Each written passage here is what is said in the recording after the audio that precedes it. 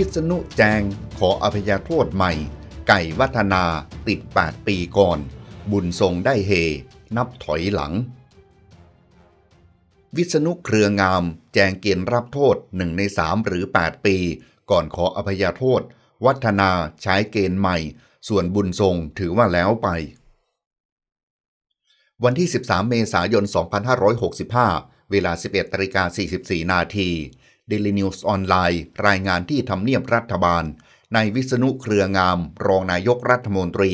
ให้สัมภาษณ์ กรณีที่ได้รับรายงานในที่ประชุมคณะรัฐมนตรี เกี่ยวกับการอภัยโทษ ซึ่งเป็นการปรับปรุงแนวทางการจัดชั้น เลื่อนชั้นผู้ต้องโทษ เพื่อให้มีแนวทางที่ชัดเจนขึ้น หลักการคือ จากนี้ไป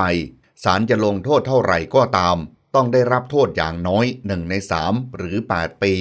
สุดแท้จะถึงกำหนดใดก่อนกัน เพื่อให้มีระยะเวลาปลอดภัยที่สังคมการันตีได้ว่า คนเหล่านี้จะไม่ออกมาเร็วเกินควร เพราะบางคนถูกโทษจำ 50 ปี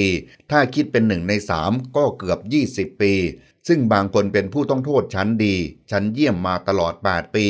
ก็อาจจะออกมาได้ เมื่อผู้ต้องโทษเข้าเรือนจำวันแรก จะมีการจัดชั้นว่าเป็นผู้ต้องโทษชั้นเลว ผู้ต้องโทษชั้นกลาง ผู้ต้องโทษชั้นดี ผู้ต้องโทษชั้นดีมาก ที่สำคัญคือผู้ต้องโทษชั้นเยี่ยม ซึ่งจัดเอาไว้อย่างนั้น เพื่อนำไปใช้พิจารณาเพื่อเป็นประโยชน์ ซึ่งในพระราชกฤษฎีกาพระราชทานอภัยโทษระบุไว้ว่า ผู้ต้องโทษแต่ละประเภท ได้ลดโทษเหลือจำนวนเท่าใด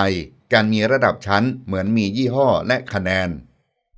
เมื่อถามถึงกรณีนายบุญทรงเตริยาพิรม อดีตรัฐมนตรีว่าการกระทรวงพาณิชย์ที่มีโทษจำ 48 ปี ซึ่งได้ลดโทษแล้ว ถือว่าแล้วไปใช่หรือไม่นายวิษณุกล่าวว่า ที่มีการลดโทษไปแล้วก็แล้วไป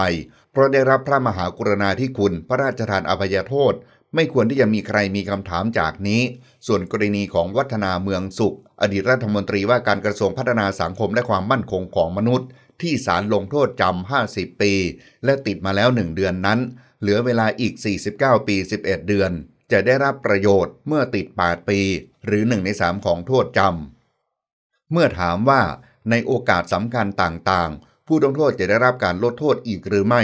นายวิษณุกล่าวว่า ให้ยึดหลักถ้ายังไม่ครบจำนวนหนึ่งในสามตามที่กำหนดไว้ จะไม่พูดเรื่องการลดโทษ แต่สามารถจัดให้เป็นผู้ต้องโทษชั้นเยี่ยมได้ และได้คะแนนสะสมเมื่อครบ 8 ปี แล้วค่อยมาว่ากันว่าเป็นผู้ต้องโทษชั้นอะไร